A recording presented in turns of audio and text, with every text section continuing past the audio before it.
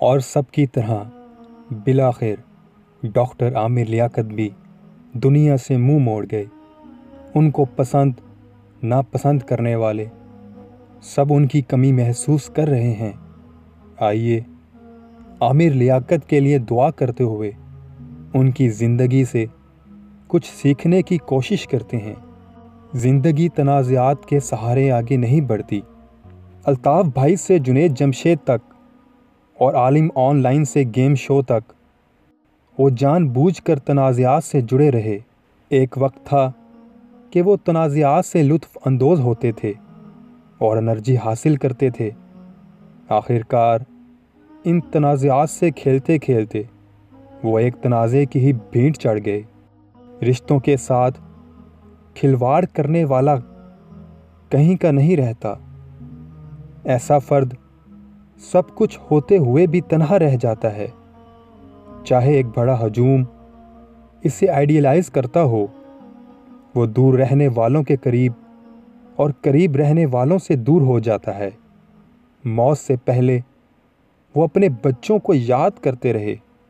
Instagram पर उनको tag करके उनके फ़ोटोज़ लगाते रहे, मगर ये नफ़रत की इंतहा थी। कि बच्चों ने उनसे कतः ताल्लुक़ करने के लिए अपने अकाउंट्स ही डीएक्टिवेट कर दिए।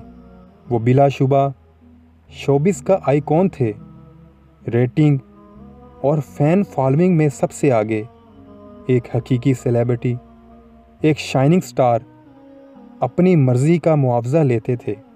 रमज़ान में सहरी, इफ्तार और प्राइम टाइम ट्रांसमिशन पर काम करते थे। लेकिन ये सारा कुछ मसनू था।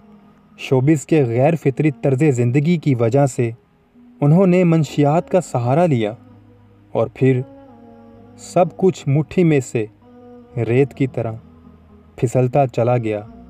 वो मल्टी टैलेंटेड थे।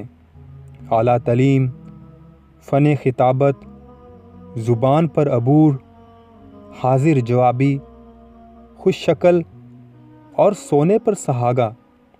सियासत का तड़का। वो इस लिहाज से वन एंड ओनली थे कि शोबिज़, मज़हब और सियासत तीनों पर अबूर रखते थे। लेकिन इसी वजह से उनके फ़ैन भी बुरी तरह कंफ्यूज थे। एक तरफ़ तो वो शब कदर में उन्हें अल्लाह के हजूर गिरिया जारी करते देखते और सिर्फ़ तीन दिन बाद ईद शो में रंग बरंगी महफिलों में अटकलियाँ करते पाते। मार्केटिंग की मजबूरियों के बाइस, वो एक दोहरी ज़िंदगी गुजारने पर मजबूर थे। ज़िंदगी में आपकी मेरास अहम है।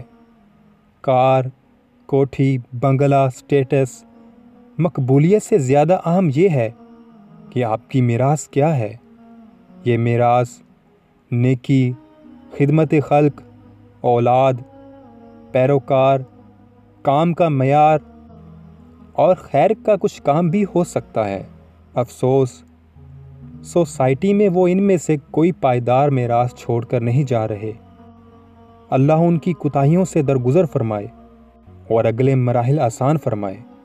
आमीन।